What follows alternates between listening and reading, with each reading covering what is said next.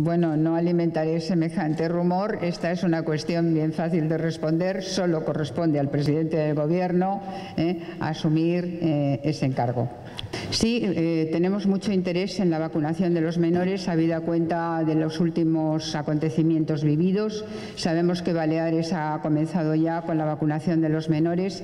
Mm, teníamos previsto, y esta es una cuestión que, solo corresponde articular al Ministerio de Sanidad, pero teníamos previsto, tras conversaciones, eh, proceder a esa vacunación de adolescentes 12-17 años dos semanas antes de comenzar el curso.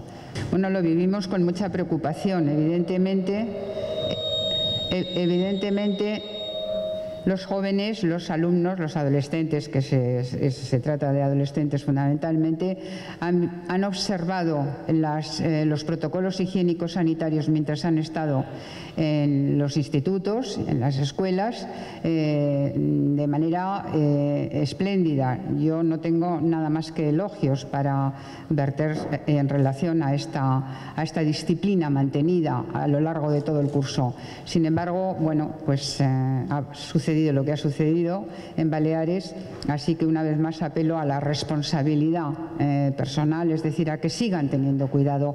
El virus permanece entre nosotros, como acabamos de comprobar, y es muy importante que salgamos, eh, llevamos un fuerte, fortísimo ritmo de vacunación, es importante que salgamos cuanto antes y, por tanto, eh, los jóvenes aquí también tienen mucho que aportar.